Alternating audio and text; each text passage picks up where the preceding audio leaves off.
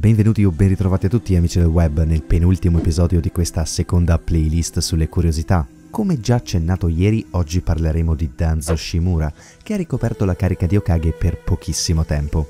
Ma bando alle ciance e cominciamo.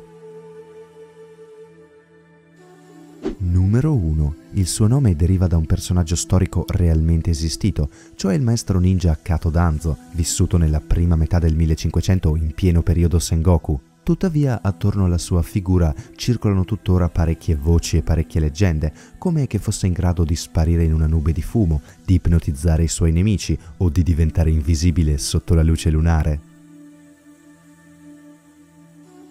Numero 2. Nel databook ufficiale, oltre a tutti i dettagli su forza, tecniche, aspetto fisico, eccetera, eccetera, è riportato anche un tratto molto peculiare di lui. Infatti sembrerebbe un tipo che preferisce evitare i combattimenti, pur essendo uno dei ninja più forti della vecchia generazione di Konoha.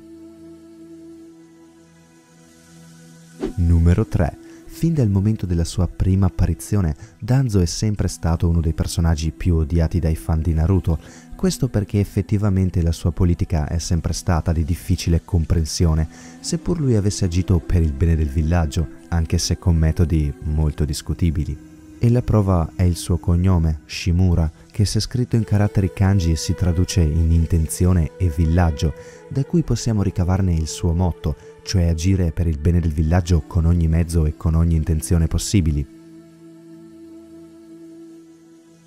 Numero 4. Una delle cose più curiose riguarda i suoi Sharingan. Danzo ha recuperato gli occhi degli Uchiha massacrati da Itachi e ha anche rubato un occhio a Shisui, ma nell'anime possedeva già l'arte oculare, anche se non viene specificato bene come. Molti fan pensano che l'abbia presa dal suo amico Kagami Uchiha quando erano entrambi molto giovani. Numero 5. La tecnica del richiamo di Danzo è molto particolare. Egli infatti è in grado di evocare una creatura molto potente, il Baku, una sorta di chimera dalla forma elefantina, simile ad un tapiro, in grado di divorare i sogni e gli incubi.